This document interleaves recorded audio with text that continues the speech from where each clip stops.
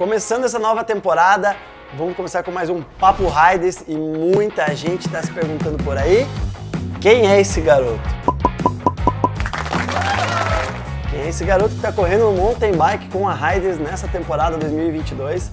Muita gente curiosa vendo nas provas ele despontando aí, mas para a galera do mountain bike é uma cara nova, para a galera de ciclismo de estrada não é nenhuma novidade.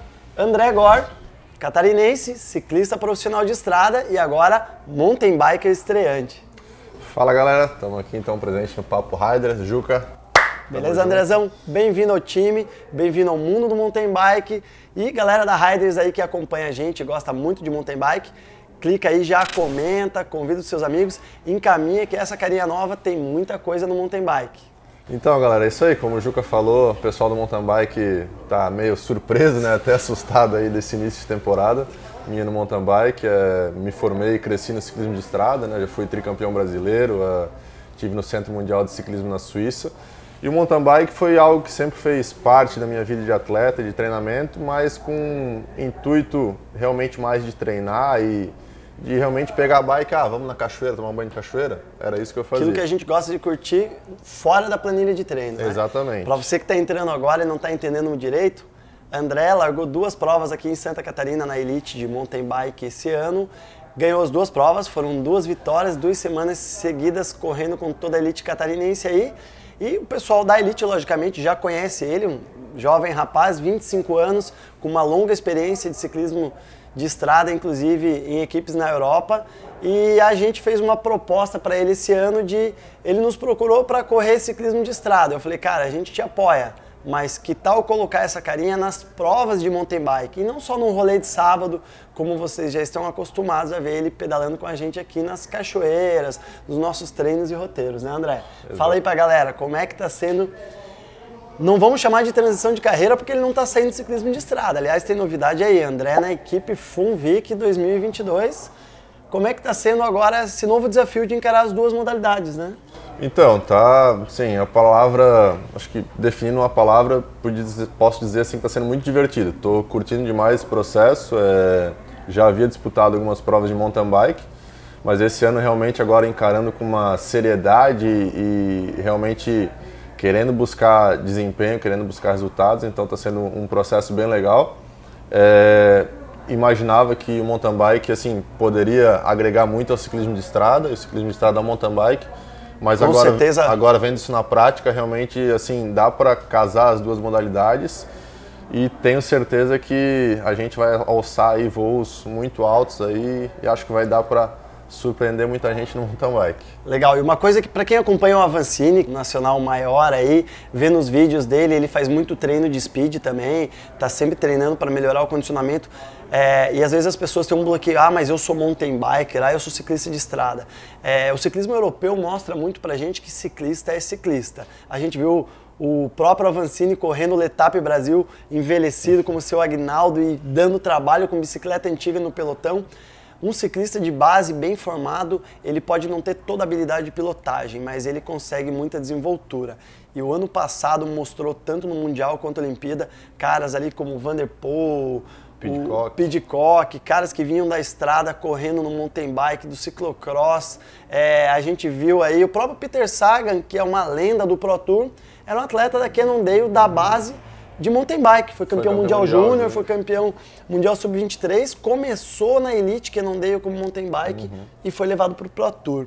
E você encara isso hoje como, a gente acho que já conversou muito sobre isso, mas é legal você falar isso para eles, como possibilidade e como novas portas e não como novos caminhos que você está deixando para trás, né? Não, com certeza. Eu acho que é assim é um, um leque novo que abriu na minha carreira. Né? É, não imaginava realmente se me perguntassem um ano atrás, pô, André, tu se vê como atleta de mountain bike realmente? Eu ia falar, talvez uma prova ou outra sim, mas realmente como atleta de mountain bike não, né? E hoje, assim, é, não é que eu vou deixar o ciclismo de estrada de lado, realmente vou agregar o mountain bike, mas vejo aí uma, uma grande oportunidade, não só de competições, mas de fazer eh, esse agregar o público amador, trazer mais para os próximos atletas profissionais, né? Então fazer Legal. esse link com o pessoal amador. Então acho que é um, um horizonte aí muito grande que, que abriu na minha carreira. É, pô, tô super empolgado com essa nossa parceria com a Riders, com a Canondale. tem muita coisa para a gente trabalhar e tá só começando o ano, né? Então vem muita Começando a temporada, então a galera que acompanha aí, nos acompanha, acompanha o André Góes, segue lá o Instagram dele, Gora André, tem no Riders Bike Shop, o pessoal que segue o André acompanha a Riders, que a gente vai levar ao longo da temporada para vocês, todo o nosso time, toda a galera da nossa loja, nosso grupo de pedal diversão também, com o André. E uma coisa muito interessante que tem chamado a atenção também nesse perfil é essa questão é, de, dele ter uma vivência grande no ciclismo de estrada e não estar habituado com esse foco do público do mountain bike amador, que, cara, é uma galera que tem um coração enorme, é uma galera aquecida, que vibra, que grita, e ele venceu a prova ali em Palhoça do Challenge nesse final de semana, uma coisa que ele ficou impressionado e eu não tinha me dado conta dele, estava até emocionado. Eu falei, cara, e aí, curtiu? Pô, tu ganhar a prova, ficou muito feliz. Ele falou, cara, eu estou impressionado a hora que eu subi no pódio, a quantidade de cabecinha, de gente gritando, que infelizmente o ciclismo de estrada não traz ainda isso no Brasil. E a onda Avancini, Mundial no Brasil, tem trazido uma, vamos dizer assim, uma nova torcida, um novo time que motiva essa galera a tá aí. Como é que tu vê isso? Tu encara que você acha que esse público vai perdurar, vai variar de modalidades, assim como você está variando? Você gostaria de ver essa galera também nas provas de ciclismo de estrada, pelo menos torcendo, acompanhando o ciclismo?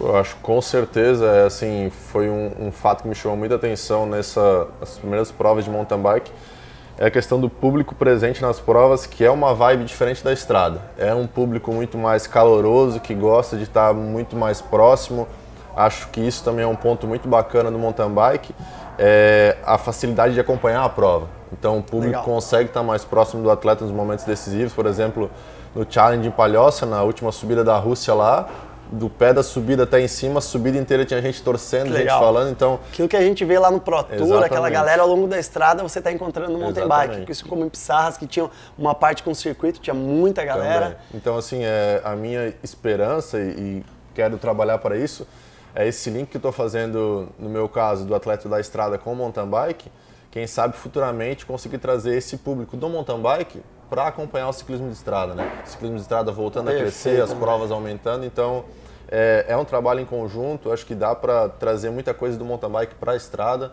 muita coisa da estrada para o mountain bike e fazer a modalidade do ciclismo no geral crescer, né? Legal, o Brasil, é, isso é muito legal de ver porque o brasileiro ele sempre gostou de esporte por natureza, mas o brasileiro ao mesmo tempo é muito preconceituoso. A gente teve grandes ondas no Brasil, como na época do Falcão no futsal. O brasileiro ia para o estádio, mas não ia ver o campeão mundial aqui em Jaraguá no estádio. E foi uma coisa que o Falcão conseguiu virar de modalidade.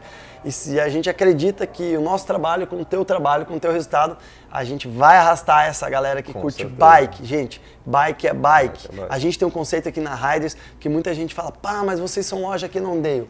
Sim, mas nós não vendemos marca, nós vendemos bicicleta, nós fabricamos ciclistas. Nós gostamos de ver a galera que pedala independente de tribo, camisa. E a gente quer ver muita gente ainda do mountain bike experimentando a speed, pelo menos acompanhando as provas, vendo a emoção de uma prova de ciclismo de estrada em alta velocidade, que o esporte tem a crescer, todo mundo a ganhar, melhores eventos, mais público, melhores condições para os atletas e melhores eventos para vocês aí, né? Com certeza, eu acho que assim é, essa questão do, de uma modalidade complementar a outra é vários atletas foram acompanhados do mountain bike, o próprio Nino, o próprio Avancini, agora a gente tem o Corexi, o Vitor Corexi. Sim. Ele passou por uma equipe de ciclismo de estrada. Essa temporada não vai correr mais mountain bike. Então, louco, assim, legal. tem tem esse link. E quem só anda de mountain bike, convido a experimentar uma bike de estrada. Quem só anda com uma bike de estrada, convido a experimentar uma mountain bike, que com certeza vai curtir a experiência. E no final é tudo bicicleta, é ciclismo e é a paixão que, que move a gente. Né? Show! Para finalizar, o André tem vários desafios ao longo do ano aí, provas internacionais de estrada com a equipe, tentar defender o título de campeão brasileiro de contrarrelógio, buscar o título de campeão brasileiro de ciclismo de estrada, vai correr grandes provas de mountain bike ao longo do ano aí tem um diferencial. Como nós temos nosso Riders Mountain Bike Festival aqui, é uma prova, como vocês conhecem, a Stage Race de Santa Catarina de três dias, já teve no passado, com muita trilha, foi bem desafiadora, super técnico. O André está saindo um bom mountain biker, mas ele ainda não é um cara tão bom de trilha, então a gente colocou um desafio para ele aí. André, aprende a andar na trilha, que no Riders Festival esse ano a gente quer você andando é, disputando com a galera que é especialista, com o Pichard, com o próprio Davi Serralheiro de Portugal, que ganhou ano passado, que são os caras feras nas trilhas e estão te acompanhando aí no esporte. Tá dado o desafio, aprende a andar na trilha que esse ano o Riders Festival é contigo. Desafio aceito, vamos para cima, acho que com certeza a gente vai, vai chegar muito longe. Vai se divertir ano. muito, né? É. São três dias de mountain bike, de imersão, banda de rock and roll, muita estrutura de primeiro nível para vocês aqui em Santa Catarina, como já foi ano passado, 26, 27 e 28 de agosto.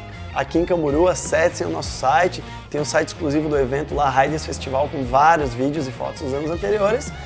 E a gente vai fazer um material diferenciado. Ao longo do ano, vamos gravar algumas opções com o André, treinando no percurso e até ele, como ciclista, que está desmistificando as trilhas, explicando as trilhas do Riders Festival para vocês. Com certeza, é isso aí. Vamos lá, galera, vamos treinar que agosto tá aí. Valeu, André. que a nossa Juca. parceria se perdure e que essa galera compartilhe muita bike ao longo do ano com a gente. vamos que vamos.